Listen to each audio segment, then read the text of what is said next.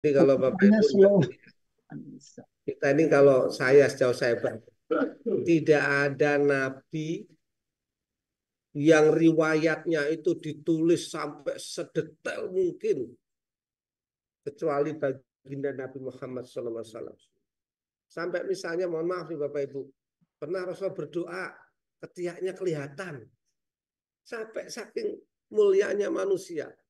Kalau nabi-nabi yang lain paling udah nggak ada riwayatnya yang paling potongan-potongan. Nabi Muhammad sampai tidurnya, mohon maaf nih, mohon maaf, sampai buang air besar, sampai beliau tidur, sampai tahajudnya, masya Allah. Semua itu lengkap itu baginda Rasulullah SAW. Makanya kita sering baca sholawat. Eh kita mulai surat An-Nisa ayat 132. أعوذ بالله من الشيطان الرجيم. أعوذ بالله من الشيطان الرجيم بسم الله الرحمن الرحيم بسم الله الرحمن الرحيم. Bismillahirrahmanirrahim. Bismillahirrahmanirrahim. Alhamdulillahi Rabbil Alamin. Alhamdulillahi Rabbil Alamin. Ar-Rahmanir Rahim. Maliki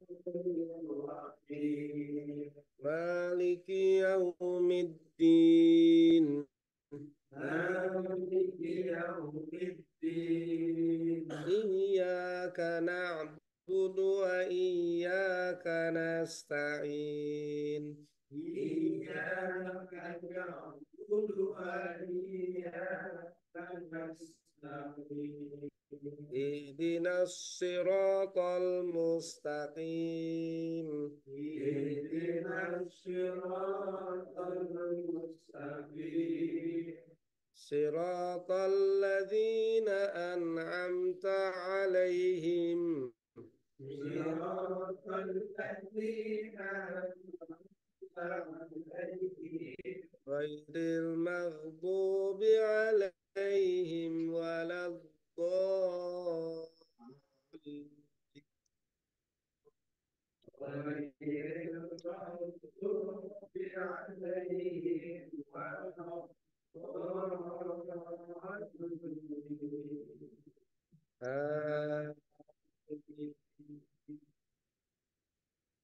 Walillahi ma fis samawati wa ma fil ardh ولله ما في السماوات وما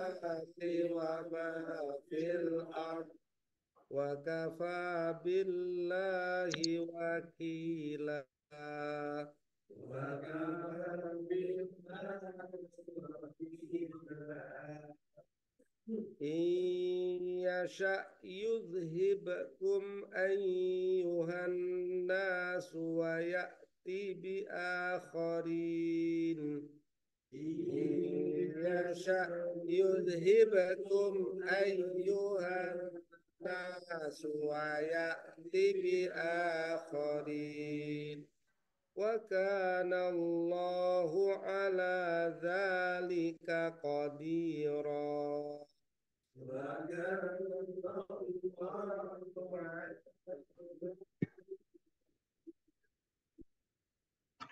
Man kana yuridu sawabad dunya fa indallahi sawabud dunya wal akhirah.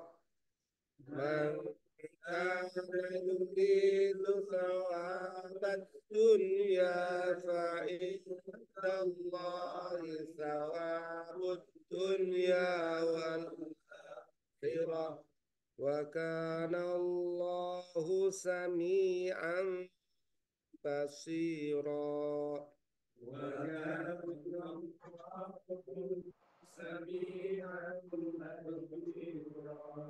صدق الله العظيم Walillahi ma fis samawati wa ma fil walillah dan milik Allah ma segala sesuatu fis samawati yang ada di langit wa ma dan semuanya fil ardi yang ada di bumi. Bapak Ibu ayat yang kemarin itu juga menceritakan walillahi ma fis samawati wa fil ard. Allah ulang. Itu kata ulama ini untuk menekankan bahwa benar-benar kita nggak punya apa-apa. Yang punya hanya milik Allah. Jadi Bapak Ibu kadang kami saya ulang nih. Orang kaya raya punya duit ngaku punya dia itu ngaku-ngaku aja. Buktinya kalau mati nggak dibawa. Ya kan? Boro-boro bawa rebutan. Itu tandanya kita nggak punya apa-apa. Udah mati, udah. Kita nih Bapak Ibu, kita sehat. Kita punya mata, punya telinga, bisa hidup, mati, semuanya miliknya Allah. Ya sudah semuanya. Di langit, di bumi, semualah. Wakafa billahi wakila, wakafa dan cukuplah billahi Allah wakila sebagai wakil. Wakil itu pemelihara. Sebagai yang maha kuasa. Nah, karena kuasa yang menguasai semuanya Allah. Maka kita sering pasrah kepada Allah. Sudah nggak punya apa-apa. Allah yang memelihara, yang menjaga, yang mengatur semuanya Allah. Nah kalau kita nggak pasrah kepada Allah, semua ngapain? Cuma Bapak Ibu kadang-kadang kita ini yang nggak kuat, nggak kuat nih. Godaan nafsu. Pengen ngapa-ngapus, pengen punya duit banyak, pengen ini, pengen ini. Sehingga yang dikelola itu harus itu hawa nafsunya. Itu yang berat itu. Keinginan kita itu. Keinginan boleh, nggak punya keinginan juga bubar. Orang nggak pengen hidup, nggak pengen punya duit, terus nggak usah hidup. ya tapi keinginan itu dikelola, nafsu itu dikelola, gitu. Iya sya, in yasha, in yasha, iya sya, barang siapa yasha menginginkan, menghendaki. Eh, mana? Iya sah. Bukan bukan bukan bukan barang siapa nih Allah nih.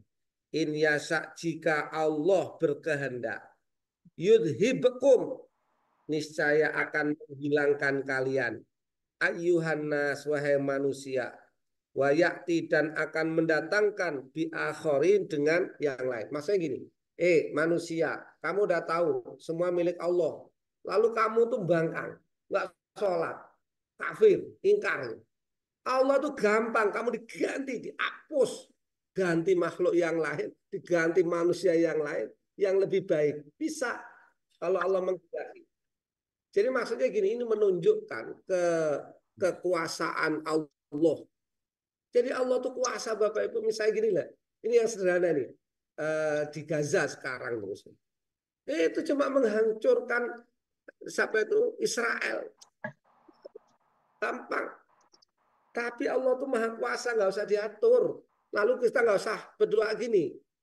Ngapain kalau itu Allah aja hancurkan? Itu otak kita. Itu sama kan kita ngatur Allah. Allah nggak bisa diatur. Ya berarti maksudnya kalau begitu kita berusaha posisi kita umat Islam bantu saudara kita. Itu kadang-kadang begitu, ada kemaksiatan. Mikirnya begini, ya udah kemaksiatan bakar aja tuh prostitusi Hancurkan saja Allah, hancurkan saja. Lah kalau begitu Anda nggak punya amal. Kan itu tuh. Kalau Allah bis, Allah tuh kalau berkehendak Pak, habis ganti dengan kaum yang lebih baik. Maka Allah ala dzalika qadira dan ada Allah siapa Allah ala dari ke atas itu mengganti itu qadiro maha kuasa. Maha kuasa, kuasa apa pun Bapak Ibu. Jangan sampai mendikte Allah, usah. Kalau minta-minta aja. Mangkana ini bagus nih. Man barang siapa karena ada yuridu menginginkan sawabat dunia pahala dunia saja Begini nih, Bapak Ibu sholat, ngaji, lalu doanya ya Allah mudah-mudahan rezeki lancar. Ya Allah banyak duit. Itu namanya sawabud dunia. Baca sholawat yang banyak nih. Sholawat. Biar apa? Biar oh, banyak duit. Puasa biar ya terbang. Betul. Itu itu itu sawabud dunia. Kita hanya pengen pahala dunia. Padahal kata Allah fa dan padahal di sisi Allah sawabud dunia pahala dunia dan pahala akhirat. Maka rugi kalau kita ibadah hanya minta urusan dunia. Tapi dikasih nggak? Dikasih Pak.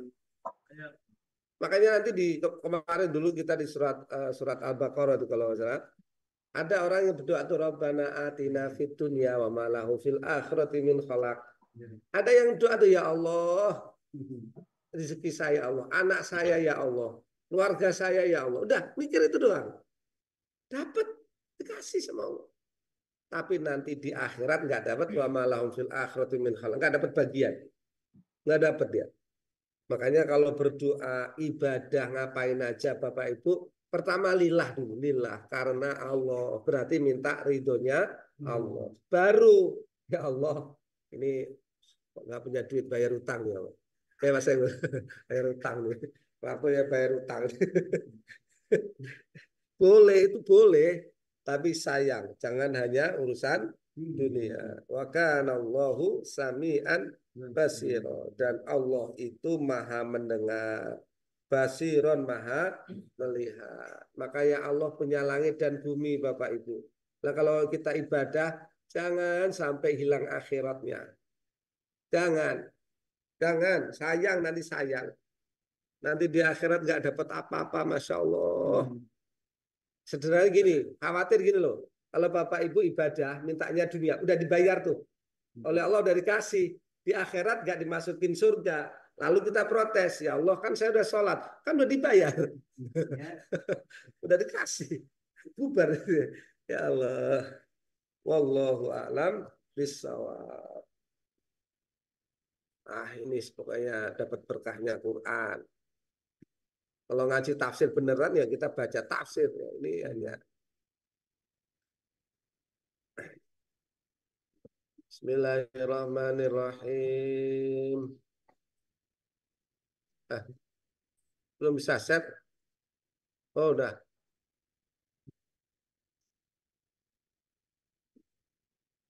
Qala al-musannifu rahimahullahu ta'ala wa nafa'ana bihi bi ulumihi fit amin. Lupa masih di halaman berapa itu.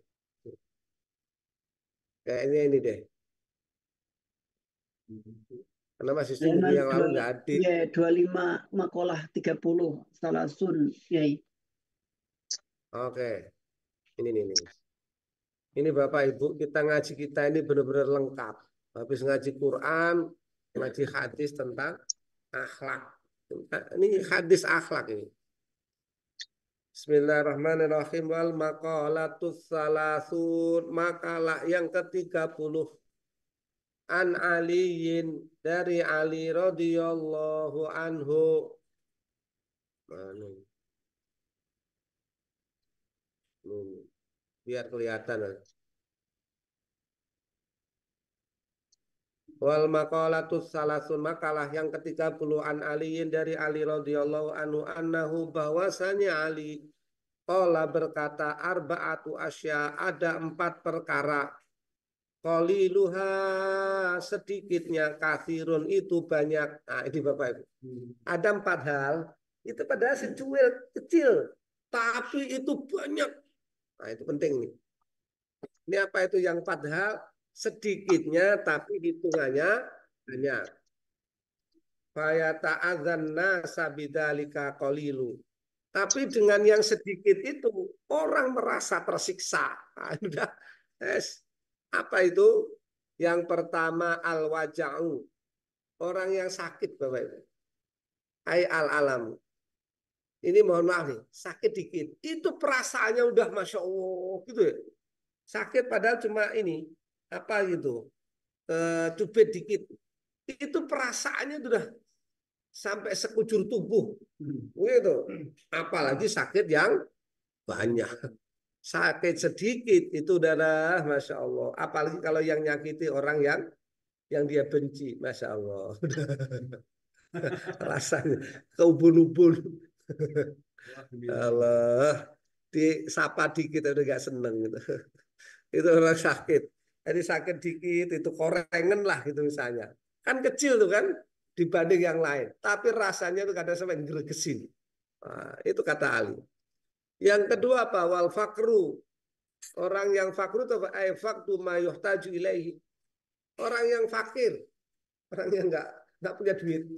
Padahal nggak punya duit itu paling ya nggak selamanya tak. Ya paling sebentar. Tapi perasaannya miskin sedunia. Allah. Padahal makan masih bisa. Beras juga masih ada.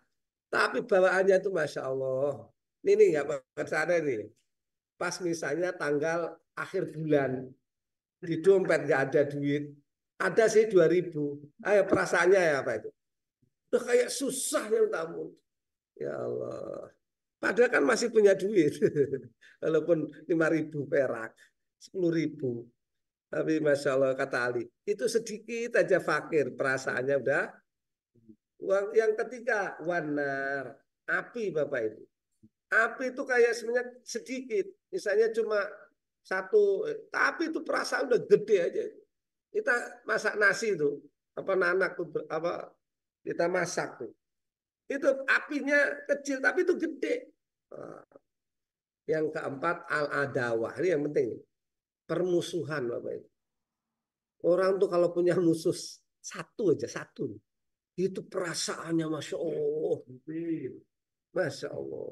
Berat yang minta Ai ai kostul idrari al muntamakin fil qalbi perasaan nggak nyaman dengan ketemu musuh itu luar biasa. Qala Rasulullah Sallallahu Alaihi Wasallam Rasulullah SAW bersabda Rasul akli ba'dal imani billahi atawaddudu ilan nas. Rasul mengatakan begini, pokok dari akal sehat setelah beriman kepada Allah Ta'ala itu atawaddudu ilan nas berkasih sayang kepada hmm. manusia. Masa gini Bapak Ibu. Orang kalau otaknya itu waras, benar itu. Itu pasti beriman kepada Allah. Dah gitu aja. Nggak mungkin. Kalau bahasa sederhana gini, nggak usah seharusnya nih, nggak usah ada uh, orang itu nggak banyak nggak nggak nggak ada misalnya nih, cukup dengan dengan pikiran yang waras itu pasti membenarkan agama Islam dan menyembah Allah dah itu. Itu karena akal yang sehat. Kemudian yang kedua, setelah itu pasti dia berkasih sayang sama manusia. Kok ada orang senengannya berantem sama tetangga, itu otaknya nggak waras. Udah kita aja. Senengannya, pokoknya musuhan aja, ini nggak benar itu otaknya. Itulah. Karena itu adalah pokok dari akal. Yang pertama itu iman. Yang kedua itu kasih sayang. Karena mikir Pak. Oh sama orangnya. Sama-sama makan nasi. Sama-sama hidup di dunia. Sama-sama menghirup oksigen. Lo kok berantem? Bunuh-bunuhan. Itu nggak benar. Gitu ya. Waqala Sayyiduna Sulaiman alaihi salam Berkata Nabi Sulaiman alaihi salam dibenihi kepada anaknya.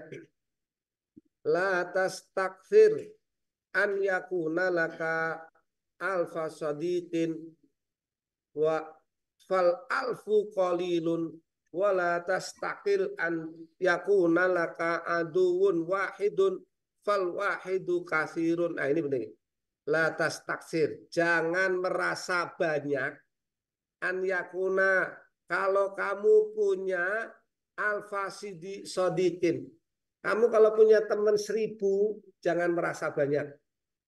Nah, itu karena kita kasih sayang sama orang. Dia merasa gini, eh teman saya udah banyak. tenang cuma seribu. Itu kan berarti dia sudah kenal sama orang. Perasaannya bagus tuh. Berarti dia sering kasih sayang sama orang. Beda kan orang nggak mau kenal orang tuh ada kan? Bawaannya ngapain? Nanti enggak enggak nanti diutangin nanti dia datang utang. Rasanya gitu. Ya Allah. Jadi kata gitu fal alfu kalil eh seribu teman itu sedikit. Maka jangan merasa kalau udah punya teman seribu perasaannya udah banyak. Nggak cukup. Karena kasih sayangmu belum berarti. Begitu. Wala tastakil an yakunalaka antun. Terus kamu jangan merasa sedikit kalau punya kamu, kamu punya satu musuh. Kamu punya musuh berapa? Satu. Jangan sedikit. Itu kalau musuh fal wahidu kafirun. Musuh satu itu kebanyakan. Artinya gini Bapak Ibu, jangan ada rasa dengki, marah sama siapa pun. Jangan orang dianggap musuh. Lalu ada pertanyaan. Kalau dia musuhin kita gimana? Jangan dianggap musuh, dia terserah. Gitu. Itu yang benar tuh. Kan dia musuhin kita. Dia nyakitin saya. Lah itu urusan dia. Begitu. Dan ini dicontohkan baginda Rasulullah Shallallahu Alaihi. Ini sederhana nih Bapak Ibu. Ada Rasulullah ini kisah punya tetangga, tetangganya jahat. Kalau buang sampah ke tempat Rasulullah, Eh, ada enggak orang jahat segitu tuh? Jahat tuh. Sudah begitu Rasulullah pas tetangganya sakit datang dijenguk. Coba kalau kita, Iya. ngapain? Dia aja, dia aja jahat sama saya. ya Allah, ini kita meniru Rasulullah Shallallahu Alaihi Wasallam. Itu ya. Wal maqalatu hadiyatu wassalasun wallahu a'lam bisawab. Kita cukupkan kita cukupkan. Saya begini harus jemput anak saya. Udah dipesan soal pokoknya jam 6 dijemput. Mondok enggak di sini yang di sini. Itu ya Mas Yusti mudah-mudahan manfaat. Yang penting itu kata Rasulullah itu pertama iman yang kedua berbuat baik sama orang lain. Insya Allah nanti tenang hidup itu tenang. Walaupun berat Pak. Berat itu berat Bagaimana berbuat baik orang yang nyakitin kita. Lihat gimana itu? La ilaha illallah wa Kalau perlu kamlengin. Allah alam besar. Mas Yusdi ada pertanyaan? Boy, mau bagi-bagi berita, mau bertanya, mau ngeles, mau curhat, silakan. Jangan curhat lah. Assalamualaikum Pak Yai. Salam warahmatullahi Saya mau nanya nih masalah wudhu sama yeah. gigi palsu. Hmm. Kalau orang gigi palsu itu kan kalau habis semua itu kan dia pakai pakai apa? Pakai uh, lem poliden. Hmm. Itu wudhunya gimana hmm. Pak Ustadz? Iya, iya, iya. Begini. Ya, kan dikasih lem. Iya. Kalau hukum fikih awalnya sebegini, sebetulnya kalau kalau gini, hukum fikih pertamanya lemnya harus harus suci, halal. Iya. Kalau di kalau di Indonesia harus ada sertifikat halalnya lah kira-kira gitu. Iya. Yang kedua, kalau nggak bisa diyakinin bahwa zatnya tidak benar-benar mengandung yang haram misalnya mengandung babi. Hmm. Saya gitu. Kan kita nggak tahu. Nah, kalau nggak tahu ya mudah-mudahan diampuni oleh Allah. gitu ya. Ya karena ya, nggak tahu. Kan Tapi ini ngomong, iya, ya. kita hukum fikih. Hukum fikih itu pertama harus yang tahu dulu wajib ada halal. Kalau ya. nggak nggak ketahuan, wajib tahu bahwa ingredientnya, bahan yang untuk membuat itu ada nggak yang benar-benar tidak mengandung yang ha haram. Walaupun misalnya nggak jelas nih. Oh misalnya nggak tahu lah misalnya dari nggak tahu dari apa gitu ya. Tulang sapi misalnya gitu. Kan walaupun nggak tersertifikat tapi barang halal. Gitu. Hmm. Jadi kalau menurut saya caranya begini. Ya, dilihat cara kalau di rumah sakit setahu saya kalau rumah sakit itu bisa nanya apa ingredientnya ini dibuat dari apa? Oh ini dari plastik. Oke okay, nggak masalah. Nah gitu ini untuk kehati-hatian aja iya tapi makanya kalau itu nggak saya bisa nggak bisa yes ya Allah ampunin ya Allah ampunin Iya, Gitu aja. sesanksi gitu loh Pak. Apa Yai? iya iya minta ampun sama Allah dah sulit zaman akhir udah sulit Iya. eh sering sering istighfar mohon ampun Nah, makasih Gitu Pak ya. Yai. siap siap siap cukup ya Mas Susi ya Oke, Yai. Bismillahirrahmanirrahim. Alhamdulillahirabbil alamin wassalatu wassalamu ala rasulil amin. Allahumma anfa'na bima 'allamtana wa 'allimna alladhi yanfa'una wa zidna imanan wa yaqinan wa hudan wa taufiqan. Allahumma aghnina bil ilmi wa zayyina bil hilmi wa akrimna bit taqwa wa jammilna bil afiyah. Rabbana atina fid dunya hasanah wa fil akhirati hasanah wa qina adzabannar. Sallallahu ala Muhammadin wa ala alihi wa sahbihi wasallam. Walhamdulillahi rabbil alamin. Terima kasih, terima kasih. Susi, mau pesan apa ke ini ke Gaza? Enggak, enggak. Enggak, tapi ada kemungkinan ketemu ini pengungsi Gaza di Yordan insya Allah. Ya Allah. Gitu ya Mas Susi ya, makasih ya. Matur nuwun sangat, Yai. Oke, Assalamualaikum warahmatullahi wabarakatuh. Salam. warahmatullahi wabarakatuh. Matur nuwun semuanya. Makasih Pak Yusi. Ketuanya punten saya mawon. Terima kasih Pak Yusdi, Pak Ustadz.